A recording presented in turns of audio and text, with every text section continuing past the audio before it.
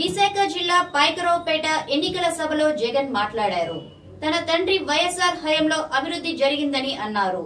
తాను అధికారంలోకి వస్తే అంతకంటే బాగా పాలన చేస్తానని అభివృద్ధి చూపిస్తానని చెప్పారు. రైతులకు పెట్టుబడి కింద సంవత్సరానికి పన్నెండు వేల ఐదు వందల రూపాయలు ఇస్తానని చెప్పారు. తాండవ ఎట్టుకొప్ప రెండు షుగర్ ఫ్యాక్టరీలను తెరిపిస్తానని హామీ ఇచ్చారు. సముద్రం చేపల వ్యాపారానికి మత్స్యకారులను అన్ని విధాలా అభివృద్ధి చేస్తానని చెప్పారు.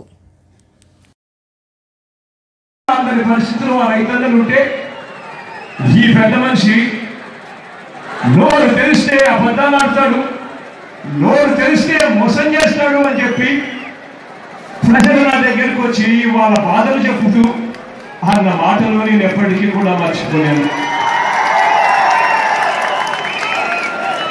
వరాహ తాండవ నదుల్లో ఇసుక నేను ఏమాత్రం కూడా లేకుండా ఎడా పెడా ఎడా పెడా ఎడా పెడా తోచేస్తా ఉన్న పరిస్థితులు కూడా.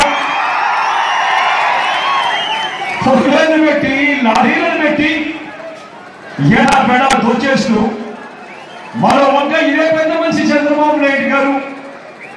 ప్రజలకు ఇసుక ఫ్రీ అని చెప్పి ప్రజల చెవుల్లో పూలు పెడతా ఉన్న మాటలు ప్రజలు నా దగ్గరికి వచ్చి చెప్తూ అన్నా ఈ పెద్ద మంచి చంద్రబాబు నాయుడు గారు ఇసుక ఎవరికి ఫ్రీగా ఇస్తా ఉన్నాడన్నా?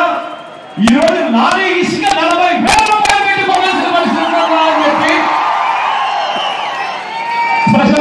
వాపోతూ చెప్పిన మాటలు నేను కూడా మరవలేను నేను చెట్టు కింద గ్రామాల గ్రామాలను దోచేస్తా ఉన్న పరిస్థితి ఎడపెడ లోతు వెళ్తుండాలి అన్న దానికి ఏమాత్రం కూడా ధ్యాస లేకుండా తాటి చెట్లంత లోతు తొంగేసి